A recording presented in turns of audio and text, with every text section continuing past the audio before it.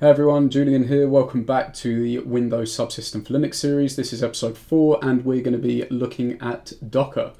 Um, we're going to be installing Docker on our Windows 10 host machine and on our Ubuntu subsystem for Linux. So without further ado, let's head over to the desktop so we can see what we're working with. So here we are, I've got a terminal open running bash and you can see we're currently in the root directory of our file system. Let me go ahead and clear that. Now, if I run the docker command, you can see we get a list of commands from Docker. And if we run the docker run hello world command, it's pulled the hello world image and it's fired it up and it's working. So how are we doing this? Well, what we're actually doing is just exposing Docker, exposing the Docker daemon on our Windows 10 install and controlling it through our Linux installation. So what you want to do to get this up and running is if you haven't installed Docker on Windows, head over to Google and just search for Docker CE Windows and follow the links to get Docker. So you just want to click this. I've already got it installed on my system, so just go ahead and click on get Docker. You might need to create a uh, Docker Hub account, well in fact you will have to create a Docker Hub account. So go ahead and do that. Download Docker and follow the installation instructions. Um, once you have done that, what you want to do is uh, you'll probably need to either reboot your machine or just sign out. So go ahead and do that Another thing you want to watch out for, you may have to enable Hyper-V. Um, so just search for Hyper-V and you should get this settings icon saying turn Windows features on or off. So just click into that and head down to Hyper-V and make sure you've got that ticked. Now, I think you can only enable Hyper-V in Windows Pro and Windows Enterprise. I'm not sure about just regular Windows Home. Um, you might have to do a bit of googling and see if you can do that. But if you've got Windows Pro or Windows Enterprise, you should be able to do that absolutely fine. Install Docker and get it up and running. So what we can do once you've got Docker installed is just open up a um, PowerShell and just put in Docker and you should get your list of Docker commands and Docker run hello world and that's going to pull the hello world image from Docker and just sort of do a test to make sure everything's running. So as you can see, that might be a bit small, so I do apologize, but that has pulled the hello world image and is working on our Windows machine. So how do we do that? Well, first up, what you need to do is come down and go into the Docker settings. So just right click on the little Docker icon. Uh, you might not be able to see that. I think my face is in the way, so I'm, oh, let me uh, let me get my face out of the way so you can see what's happening. I'll stick that up here.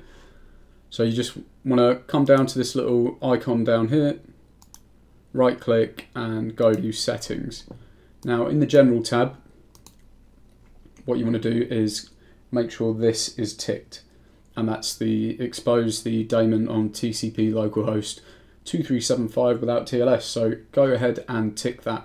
Now effectively all that's going to do is just expose the Docker daemon to listen for any commands which we're going to be running in our bash terminal. So go ahead, make sure you've got that ticked and you can go ahead and close that. So next thing we need to do is install um, Docker on our Linux machine. Now obviously I've got mine installed um, but what we could do is go ahead and fire up a virtual machine and I'll just walk you through doing that. So I'm going to um, start this Windows 10 machine and connect to it and we can go through the steps of installing Docker and Docker Compose on our Linux box. So let's go ahead and do that.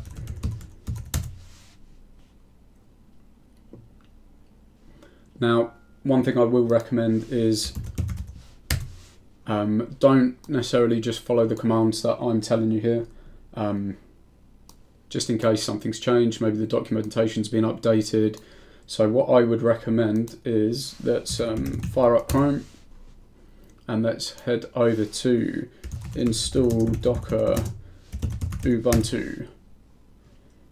And you should find your way to this link. Get Docker CE for Ubuntu. So we're going to go ahead and do that um, and just make sure you are in the Docker CE this is the community edition which is what we want to install. So as you can see I hope you guys can see that. Let me uh, let me get my big head out of the way.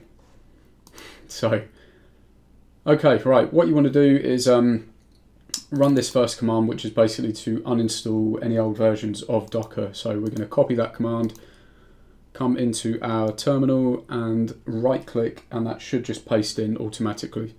What's this? Command not found. Why you do this? Copy.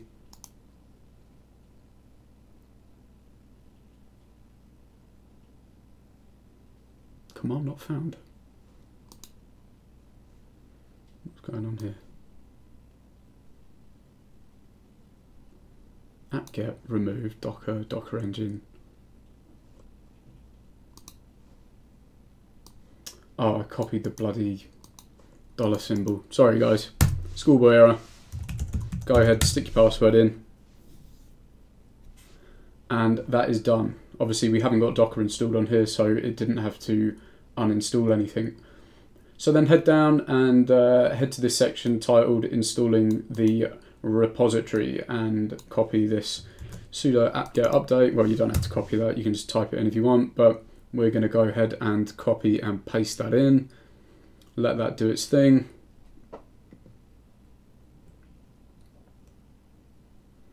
And once that's done, we are then going to copy these packages that we want to install. So go ahead and copy the next line, paste that in and hit return, hit Y and hit enter again and let that do its thing.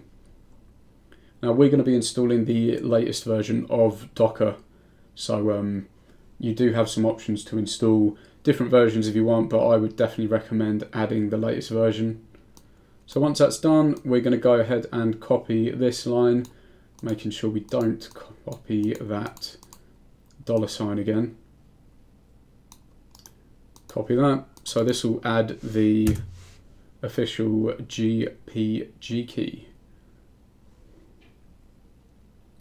Next up, we can just verify, verify, verify this fingerprint, and you should get a message here. Okay, that's fine. Although we have got a slightly different message here, unknown Docker release.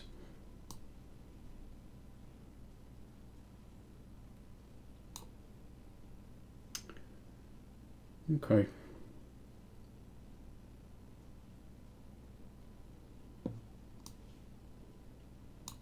CD88, CD88, CD88. Okay, I'm not sure why it says unknown. Maybe that's just a thing, but... Okay, we're going to carry on through um, and add the repo. So let's go ahead and copy this line and paste that in. Let that do its thing.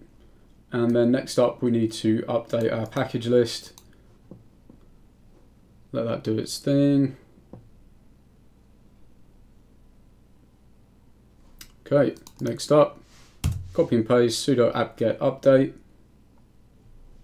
And then finally, we actually get around to installing the latest version of Docker CE and then let's go ahead and paste that in. Yes, we want to continue. And this is the point, if you did want to install a certain version of Docker, there's instructions here in the documentation to do so. But I would recommend just going with the latest version.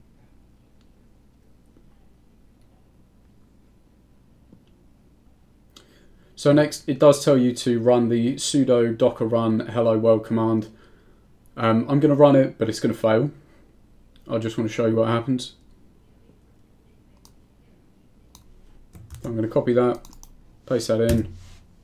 There we go. Cannot connect to the Docker daemon. Okay, and that's what we expected. So next up, um, what I would recommend is installing uh, Docker Compose. So let's go install Docker Compose Ubuntu and just work your way to the documentation. Uh, install Compose, you want to click on this Linux tab and then literally just grab this command. Installing Compose is really fast, so just go ahead and stick that in. And we also need to change some permissions, so go ahead and do so, and that's done.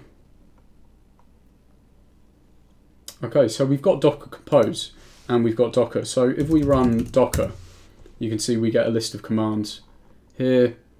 And if we run Docker Compose, we also get all the compose commands. So Docker is installed, all the commands are working, and Docker Compose is installed too.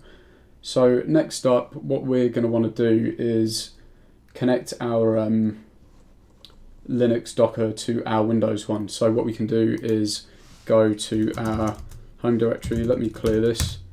So let's go cd home and we're going to open our um, bash RC with nano. So, oh, typo, nano.bash RC. And then you want to tab down to the bottom. And what we're going to do is um, export the Docker host. So export docker host, all caps with an underscore in the middle, equals tcp colon double forward slash localhost colon 2375 and let's go ahead and close that. Save. Yes. Now we need to source dot bash rc to reload the bash rc file. And what another thing you want to do is just so you don't have to uh, run the sudo command every time you want to work with Docker, you can just go sudo user mod dash a uppercase G Docker and then dollar sign user all caps. And I had another typo. Docker, not docket. So sudo user mod dash a uppercase G Docker dollar sign user. So go ahead and do that. So that's done. So unfortunately, I'm not going to be able to demo this working on this virtual machine, um, but they're really the steps that you need to take. Just make sure you've, let's close this out, um, minimize that.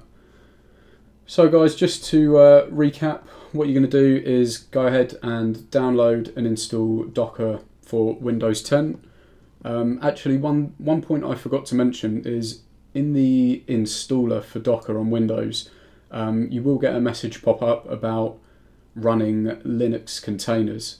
Um, I'm pretty sure you have to leave that unchecked. Obviously, we want to run Linux containers, so just make sure that you've selected that option or not selected it. I can't quite remember what it says in the installer.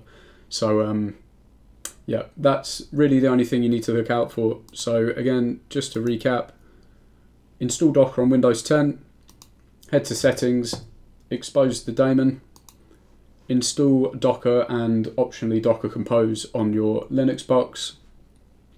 Um, add that little line of code to the bash rc file, add the user to the group, uh, make sure your shell's rebooted, so you know source bash rc or just close a shell and open a new one and you should be good to go. So let's uh, let's just run a Docker Compose on our Linux box here. So let's head over to our home directory. I think I've got one here, DC, and let's have a quick look. So we've got a Docker Compose file here, and let's just have a quick look at that um, in Nano. So this is a MongoDB container, and we're going to use this. I've I've not seen this before, but on the Docker Hub, um, they show an example file using this Mongo Express which is quite a cool little tool for sort of managing and checking out your database through localhost. So I'm going to close that. Um, I'm going to do another video on Docker and Docker Compose. So you can expect to learn more about that in the future. So what we're going to do is run the following docker compose up dash build and that's going to pull the Mongo image and the Mongo Express image and expose it on localhost. What have I lost my mouse? I think my mouse has died. Bear with me.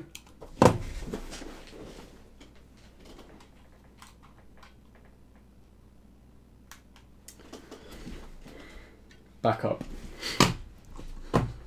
Is it the mouse? Yes, the mouse has died. Wow, great timing. So now if we go ahead and open a web browser and just head to localhost, I think it's 8081.